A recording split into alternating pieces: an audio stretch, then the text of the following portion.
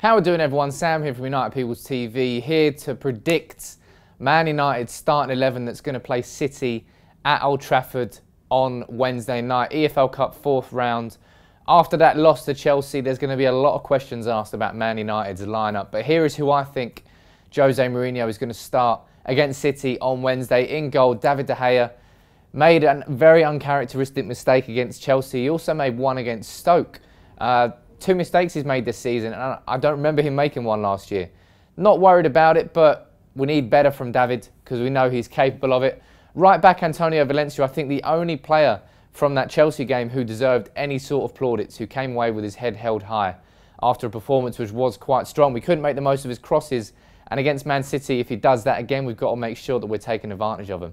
Centre back partnership, Daley Blind and Chris Smalling. Both players were shambolic against Chelsea, but with Eric Bailly out injured and Phil Jones being Phil Jones, who else do we have to play there? Maybe Axel Tuanzebe or Timothy Fosu-Mensah. I don't think Mourinho is going to take that risk against Man City.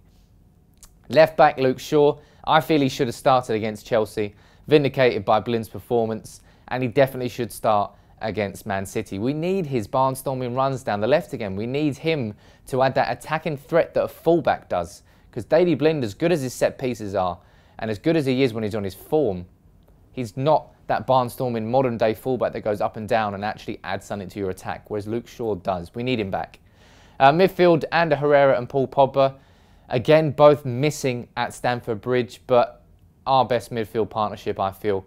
Herrera in that defensive midfield role, which allows Pogba to move forward a little bit more, a little bit more attacking freedom for him. And we need him to, we've needed him to really come out of his shell in the last few games. He did it against Fenerbahce, didn't do it against Chelsea. Can he do it against City? We need him to because Man City's midfield really dominated against us in that first derby at Old Trafford in September when Fellaini was running all over the shop and leaving spaces everywhere. Paul Pogba can't be doing that. Juan Mata in the number 10 role not Marouane Fellaini. No brainer. We're a better team, better football inside with Juan Mata in the team, and we need him because we need to be attacking better. As simple as that. We need to score goals. You don't do that with Fellaini in the team. Mata is who you need. On the left, I've gone for Anthony Martial, a player again who I feel could have and maybe should have started against Chelsea. I thought Jesse Lingard, um, he was in my predicted 11 to be fair as well.